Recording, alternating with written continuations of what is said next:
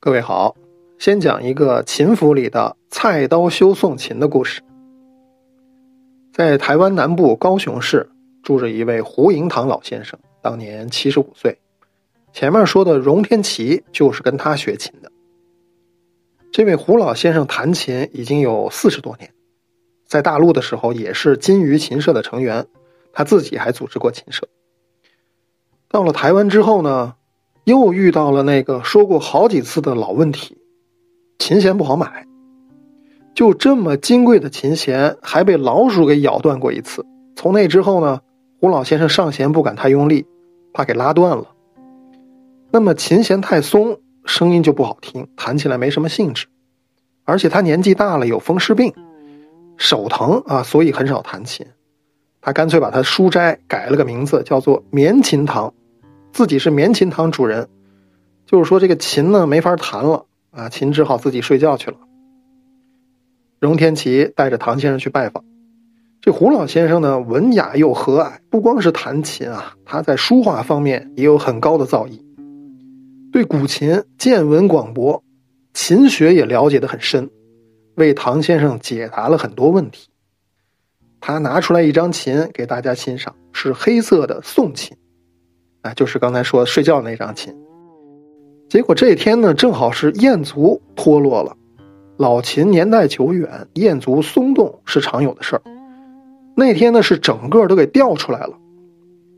唐先生看了看，说：“不要紧啊，给我一小块木头，再借您家的刀用用，马上就可以装好。”胡老先生的太太就拿来一块木头，又找了半天，最后从厨房找来一把菜刀，说：“菜刀行不行啊？”唐先生说：“可以。”就用菜刀切下来几块小木片，一边厚一边薄，把它切规整，做成几个小小的楔子，然后把这燕足装了回去，楔紧，再摇一摇，纹丝不动，装的非常牢固，然后重新上弦。一弹呢，这张宋琴声音松透，很悦耳。胡老先生一直在旁边看着，说：“你这也太利索了啊！一小时不到就给搞定了，很高兴。”给唐先生弹了《平沙落雁》《长门怨》，还有《潇湘水云》三个曲子。虽然是年老手疼，力气不够，但是节拍稳定啊，还是一派大琴家的风范。从胡老先生家告辞出来之后，荣天琪这才长长出了口气。他这个人呢，品行端方，那有的时候呢，就难免谨小慎微。刚才看着唐先生在宋琴旁边就咔咔咔的切木头，一直捏着把汗，出来了才跟唐先生说：“你敢用菜刀修宋琴，你知不知道我刚才有多担心？”其实唐先生那时候在跟孙玉琴先生学坐琴，而且已经修过古代的老琴，所以这才成竹在胸。好，这是菜刀修宋琴，咱们再说一说琴府里的外国人。秦府里呢，介绍了好几位外国人。咱们说的这位是英国的 p i c k e n 中文名就叫毕坑啊，写出来是毕竟的毕，铿锵的铿。毕坑呢是剑桥大学著名的大学者啊，在生物学方面很有建树的。他年轻的时候对亚洲的音乐产生了兴趣，本来只是一个业余爱好，中年之后呢，就把音乐研究做成主业了。他的著作非常多。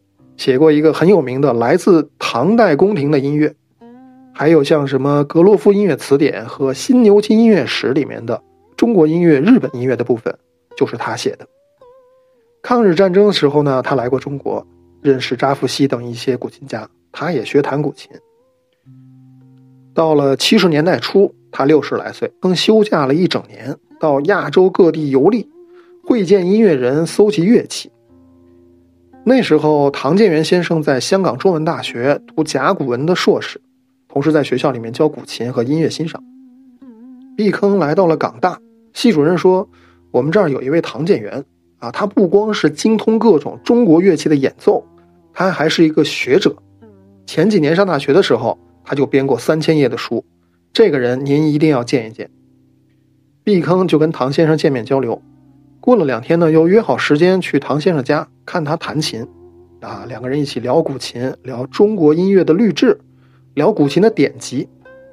这毕坑是赞叹不已，说你对古琴啊实在是了如指掌。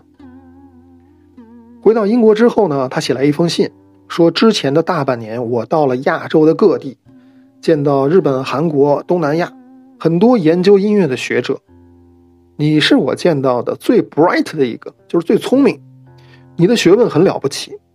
那我二十年前给格罗夫音乐词典写了中国音乐的部分，现在这本书要再版，我最近要重写这一千多页，你能不能跟我一起写呢？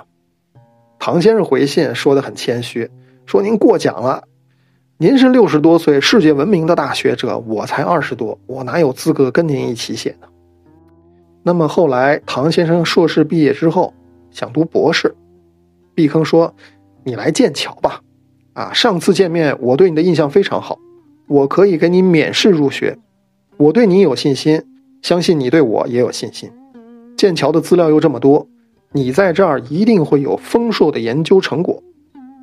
唐先生觉得不错啊，啊，挺愿意去剑桥。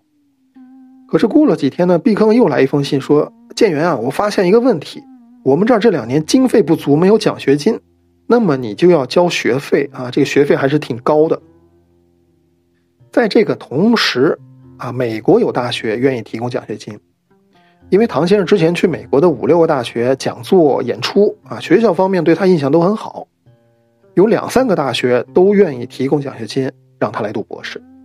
这么一来，唐先生就比较倾向于去美国了。而且这段时间又了解到，这位毕坑先生啊，他带博士生有很古怪的规矩。第一呢，男学生不能留胡子。第二，不能结婚，已经结婚的要离婚才能跟他学习。啊，但是唐先生上大学的时候就结婚了，所以就没去追随毕坑，去了美国读民族音乐学博士。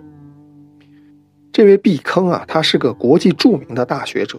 他去世的时候，各大媒体都有报道，《泰晤士报》是这么说的：说劳伦斯·毕坑是二十世纪剑桥学者中的伟人之一。他的学术研究涉猎之广无人可及，成就如此巨大，甚至在剑桥大学也极少有人能够全盘明了。好了，各位，《秦府》里的故事咱们已经讲了十集，讲了这部巨著里的一点点内容。现在我们看《秦府》啊，思路清晰，文笔老练，研究很深入。谁能相信编书的人才二十五岁呢？唐先生编书用了三年的时间，吃了苦，赔了钱，但是通过编书，也成就了唐先生的学问和艺术。他老人家从一九六八年开始学弹琴、斫琴，收藏老琴，到现在五十年没有间断。他收藏过的唐宋元明清的老琴有一百多张，其中有的琴已经让给别人了，那么现在手里还有几十张。他修复过的老琴都将近一百张。他应该是收藏过老琴最多的人和修复老琴最多的人。去年二零一九年，广东省博物馆做了一个盛唐艺术与生活展，啊，很大型的展览，从西安、洛阳的博物馆借来一百四十件唐代文物，但是没有唐代的古琴啊，这怎么办呢？来找唐老师，唐老师觉得我是广东人嘛，一定要支持，就借给博物馆三张唐琴去展览。这三张琴是季侯钟。秦外运和万壑松风。那么，唐老师跟过好几位古琴大宗师，吴宗翰、蔡德允、孙雨琴、吴景略啊，咱们前面都提过了。之后他又遍访名家，那真的是转艺多师啊。再加上他自己天分太高，所以唐老师弹琴慢慢形成了自己的风格。我想咱们可以聊一个问题，就是弹古琴怎么算弹得好？其实古人早就说的明明白白，在《太古遗音》里面就说过，就是唐老师抄写过的那部《太古遗音》，说弹琴要像孤云在太虚，阴风卷舒，久而不散，此调引之妙操也。就是说，空中的一片云，风来了把它卷起来，一会儿风又把它伸展开，后面还有一句“久而不散”，他一直在做这样的动作，聚拢又舒展又飘动。其实这句话描绘的非常精准，您深入体会一下，古琴的秘籍就在这里。话说世界上的各种器具啊，都有自己擅长的功能，比如说螺丝刀，它用来拧螺丝就很顺手；如果你用它来钉钉子就不合适。它就不如榔头。古琴作为一种乐器呢，它不是万能的，有的味道古琴并不适合表现。而咱们刚才说的“孤云在太虚，随风卷舒”的味道，古琴特别适合。这种流动感、连绵感、收紧又放松的感觉，就是我们常说的行云流水。那么，如果您想听这种味道，您就去听唐老师的录音，那真的是教科书。那我就斗胆用“孤云在太虚”来形容他的艺术风格。他名声大，但是真正体验到他艺术高度的人不多。这个是大艺术家都有的孤独，所以他的艺术高度也像孤云在太虚。那么五十年以前啊，很少有人知道古琴。唐老师是矢志不移的独自去编书，对古琴的振兴有了这么大的功绩。那么这个历史功绩，也是孤云在太虚。所以讲了十集，我就用孤云在太虚来做结尾。唐老师从美国博士毕业之后回到香港，在香港演艺学院做中乐系的系主任。退休之后呢，还是酌琴教琴。但是大陆的琴人要去香港要办证件，总是不太方便。所以二零一九年初，唐老师在深圳开了琴馆，琴馆的名字就叫做琴府。这里有唐老师的亲酌琴啊，当代各个名家做的琴，有的时候他也会把唐宋的老琴带来展览。唐老师绝对是个天才，是个奇人。他不只是古琴家，他在七八个领域里面都是大师或者专家。啊，甲骨文从小学习是专家，他自己还研究出来八个甲骨文的字。他唱乐曲啊，就是广东大戏，跟过前辈的大师，他自己编剧，自己粉墨登场，还教人唱戏。那有的时候懂乐曲的客人来到秦府，看到唐老师唱乐曲的海报上有一位名角儿，就很惊讶，说他跟您一起唱啊？唐老师说：对啊，他是我的助教。唐老师还是广东地水南音的传人，这是一种说唱形式，右手弹古筝，左手打响板，嘴里唱故事。他跟前辈著名的盲人南音大师杜焕学艺。现在人称唐老师是南音争圣，啊，圣人的圣，他可不是爱好者那么简单。他又是明清紫砂壶收藏的专家，当年从美国回来，香港的紫砂壶博物馆请他去做馆长，他考虑了之后，还是去了演艺学院当系主任。他收藏老普洱茶也是专家，什么宋聘、红印、蓝铁啊，如数家珍。他还研究《红楼梦》，是个红学家，反正我一时都说不完。总之是所谓万朵桃花一树开啊，难者不会，会者不难。这些课程在秦府都会陆续开课，唐老师亲自讲。其实我们跟唐老师学古琴啊，有时候会觉得很吃力，因为别人哪有他那么高的天分呢？相当于一个刚会打长拳的人，看到了降龙十八掌，哇，觉得精妙无比，变幻莫测。但是你学习吃力的时候，也就是进步最大的时候。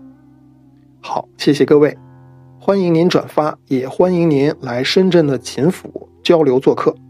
您可以加我的微信：幺三五七零八七零幺五七。再次感谢。